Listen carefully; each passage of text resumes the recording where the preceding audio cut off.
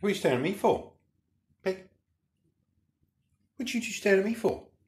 What are you staring at me for? What, you want some? You want some? Whoa, sit.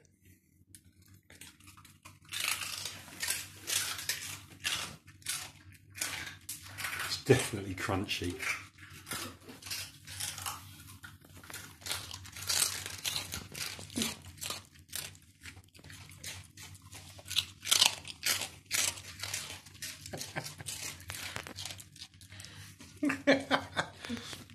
you want some more? More? Who are you, Oliver Twist? Better give a bigger bit to Pig this time. She had a small bit.